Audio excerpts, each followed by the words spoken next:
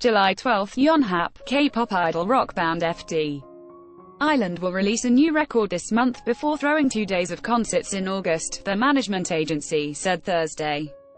FT Island will come back in July and host their concert, 2018 FT Island Live, in Seoul, from August 11 to 12 at Blue Square, in central Seoul, according to FNC Entertainment. It is the quintet's first concert since one held last year to celebrate the 10th year since its debut. The upcoming event will feature vibrant songs to match the summer season, the agency said.